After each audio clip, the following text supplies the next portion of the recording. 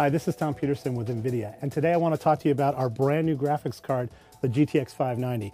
This is the best, fastest graphics card we've ever made, and it's got a lot of cool features and a lot of cool technology embedded into it, and I'm going to tell you all about it.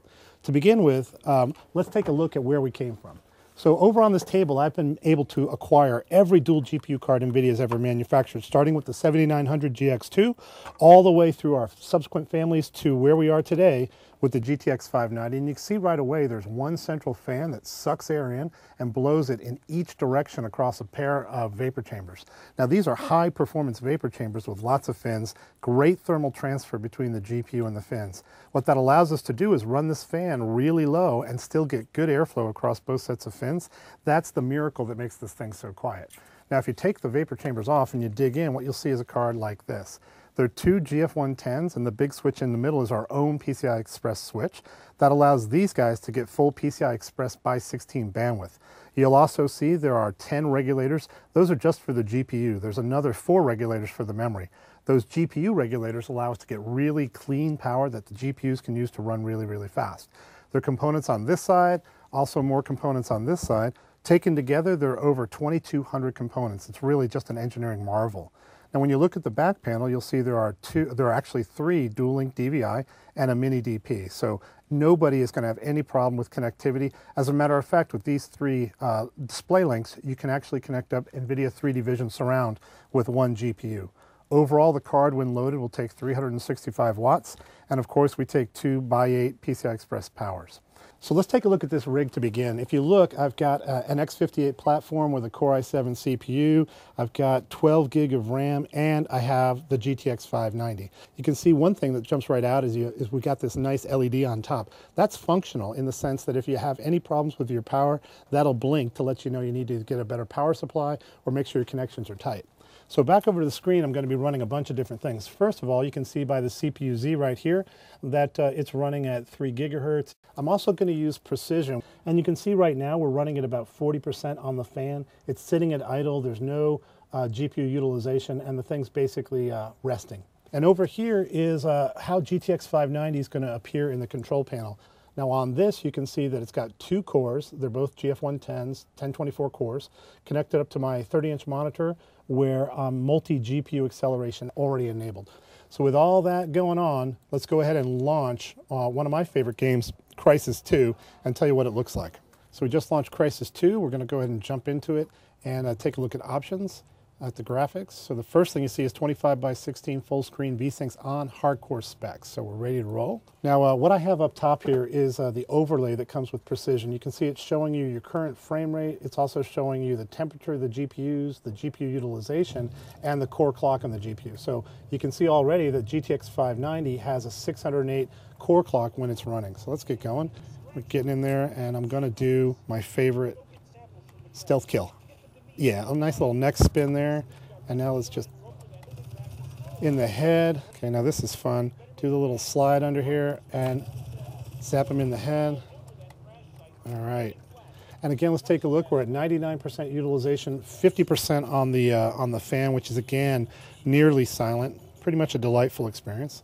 So this is a new game as well that I wanted to show you. It's called Homefront. It just came out last week. And the cool part about this game, it's a first-person shooter. Um, basically, you're defending the American homeland. It's a pretty fun game. Let me show you what's going on here. So if you're into a first-person shooter, recommend you take a look at it.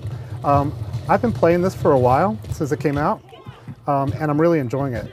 Let me show you a little bit about what's going on in the temperatures right now. So again, we're running with a single GTX 590. You're seeing 84 degrees on the GPUs. You're running at about 50, 60 frames per second at 25 by 16. You can see GD, GPU utilization right now is at 100% pretty much, but the fan is still at 50. Now that's a key thing about the GTX 590. It's actually really, really quiet even while you're gaming at the highest resolution. So I got this little DBA hand meter here. We're going to see what it says.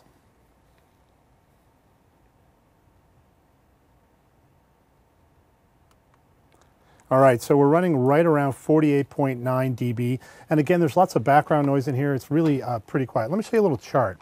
So this is uh, showing our acoustics versus other NVIDIA products. The 295, I showed you it's right over here.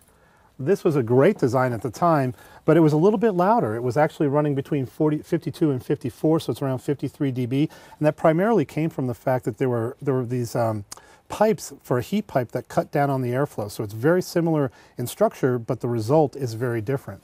Now, another one to look at is the 9800 GX2. That's this one again. And you can see what's going on here. A bigger fan sucking air in and kind of forcing out the front. At the end of the day, while it was a cool design, it still had fairly loud acoustics. So what we've done with GTX 590 is we've hit a home run. An advanced, innovative thermal design gives us somewhere between 48 and 50 while gaming.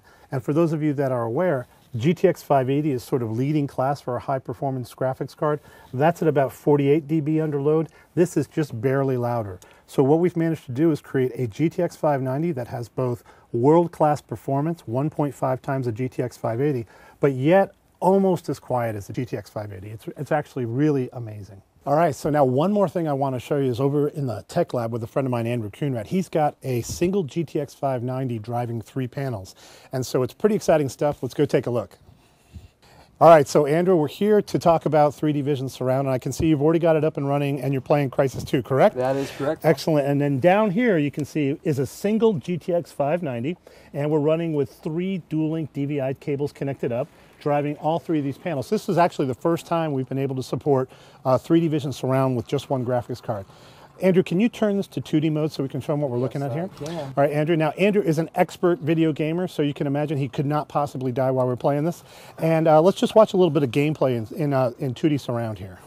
Yeah, so as you can see, I'm using my uh, stealth and armor modes. Nice. My machine guns and grenades and pistols and all sorts of suit modes. Excellent. And as you can see, it plays beautifully in surround with a single GTX 590. That's correct. Fantastic. Thanks a lot, Andrew. Yeah, no problem. All right, let's go back. All right, so I think that's about it for GTX 590. I got to tell you, it's one of the best graphics cards, one of the highest performance graphics cards we've ever made. One thing I haven't mentioned though is that if you take two of these bad boys and you stick them in your PC, you do get quad performance. The GTX 590 has been fully certified to work in multiple different chassis. We're testing out chassis, we're testing out power supplies, we're testing out motherboards to make sure that when you take these two cards home, you get a great experience. So in this box right here, we have an RV02 that's been tested by NVIDIA to be a wonderful solution for the GTX 590 quad. Um, it's in a Rampage 3 motherboard, also tested by us, and it's using a, uh, a Silverstone 1500 watt power supply. So this system, you can go out and buy all the parts in the channel and everything comes together and works great. And you can be rest assured it's been NVIDIA tested. So on our website, go to geforce.com under the Quad SLI section and you'll find a list of power supplies, motherboards, and chassis fully tested, ready to go. So you can get the same experience in your house that I'm showing you here. So GTX 590, it's available today. You can get it from e-tail, retail, system builders. It's worldwide, and I'm really, really excited about it. It's an engineering marvel, and uh, it's available now.